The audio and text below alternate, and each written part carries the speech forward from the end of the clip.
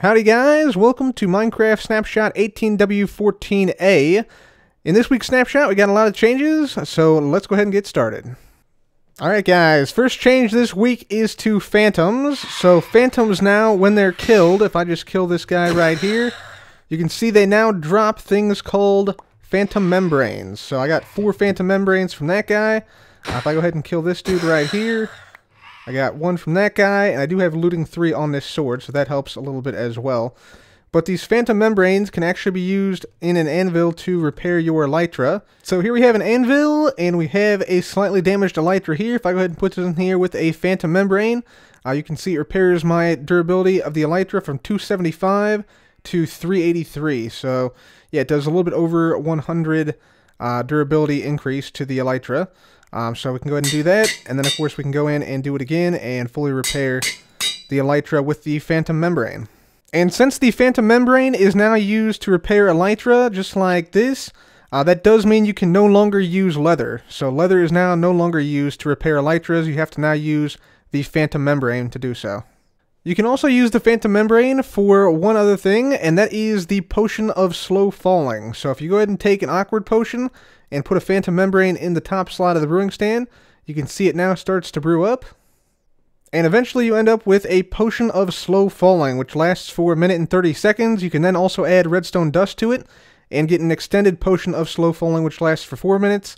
And there's also the splash varieties, as well as the lingering varieties. Now, the potion of slow falling does exactly what it says. So if I go ahead and just switch myself to survival game mode here, and then go ahead and drink one of these, You'll see I now get the slow falling icon, which is a feather right here. And if I go ahead and now jump off, you can see I slowly, slowly, slowly fall down.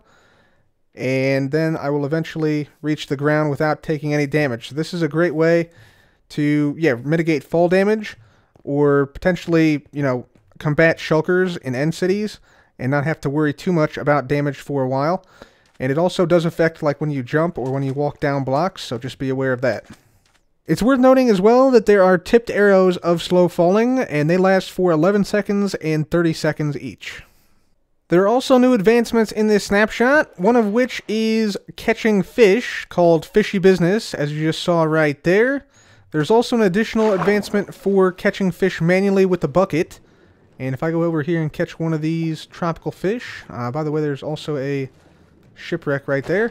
There you go. Tactical fishing advancement gotten. So that's what you get for catching a fish with a water bucket. Another advancement involves throwing a trident at something. So if I toss a trident at the turtle, there we go. Made the advancement a throwaway joke. So you get that by throwing a trident at anything. And the final advancement is by striking a villager with lightning. So you'll need a trident with channeling on it to get this advancement. And you just basically throw it at the villager. And there you go very, very frightening. And yeah, the villager turns into a witch, as expected. So that is the final new advancement added in this snapshot. The Riptide enchantment for tridents has also changed pretty dramatically, namely that you can now no longer put Riptide on a trident that already has loyalty or channeling on it. So you can see here, this already has loyalty and you can't put Riptide on it, it's exclusive. There's also some major changes with the Riptide enchantment this week. Namely, you have to be in water or in rain to throw a trident enchanted with Riptide. So you see this one has Riptide here, and I'm holding down right mouse button right now, and I can't actually throw it. I actually have to be in water to be able to throw it. So if I jump into water now, I can indeed throw it like that. And you'll see you actually do also ride along with the trident now. So instead of throwing the trident and you getting sort of dragged along behind it a little bit, you actually ride with the trident now. So that is an interesting change in mechanics.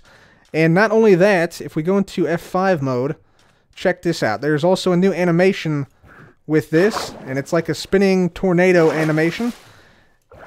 Just like that. So, yeah, you can see, yeah, that is sort of what it looks like. And, of course, I have to get back into the water or into the rain to be able to actually do that. There we go. Yeah, so that's an awesome new animation with this Riptide enchantment.